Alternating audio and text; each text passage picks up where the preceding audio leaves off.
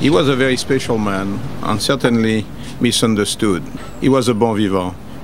But also, let's not forget, there is one thing he loved. It's his wife. He was really in, in love and uh, he was a gentleman. And, uh, you know, as they always had a, a, little half bottle of champagne before any lunch for her. He had his Maltons and the meal goes on. He was really a pamphleteer for me. Something, somebody who disturbs, but does not does not hurt people already. We talk a lot about hockey, the Canadian. He used to lot describe also St. Urban Street to me. That he used to, because I, I don't know, I, I mean, I, I'm not Jewish, I'm not from that area, but I always like that area.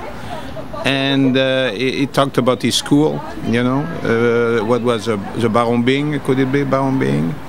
Uh, and his description of that, that time. So, I mean, he didn't talk Rimbaud or he didn't talk uh, Descartes or he didn't talk any French philosopher. We were not that deep. We were not that deep.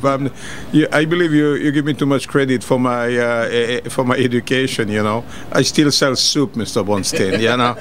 I would like him to be alive too, just especially today. Uh, it's a matter of fact, I read in the newspaper we have a new hymn in Quebec, Quebec.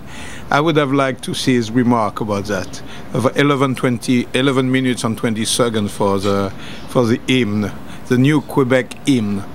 You would have I, I would have I would have liked to see his paper on that. Yeah. Yes.